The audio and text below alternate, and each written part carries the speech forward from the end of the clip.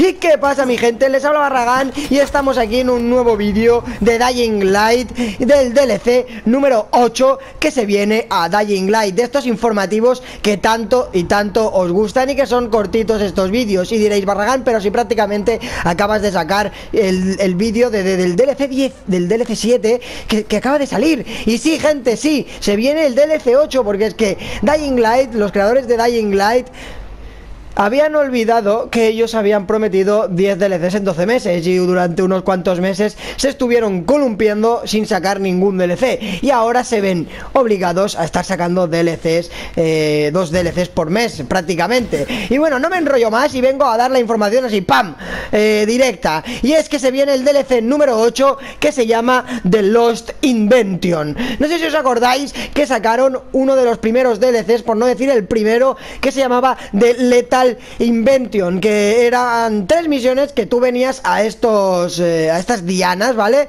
Y podíamos conseguir el renacer del Fénix, que era la, la daga Kuai, eh, la última voluntad, que era con el as en la manga, o el Fenrir, que era con el set de sangre, es decir, tres armas letales, ¿vale? Eran estas tres armas letales, que de fondo seguramente eh, en algún momento ponga el tráiler de, de, Lethal Inventions, o a lo mejor no lo pongo y pongo todo el rato como estoy grabando yo, ¿eh? No lo sé, no lo sé, o a lo mejor lo pongo al final, no estoy seguro. Pero bueno, lo que viene a ser importante, han sacado una imagen que esto sí que lo vais a tener ahora mismito en pantalla que pone The Lost Invention y empieza diciendo que Kyle Crane se pensaba que solo habían tres armas letales, pero no se olvidaba del arma que se llama Zagnal, Zagnal, que es la que veis en pantalla. Esa hoz que es como una doble hoz porque tiene dos puntas ahí de hoces y unas luces rojas y como envuelta así con algo de papel blanco,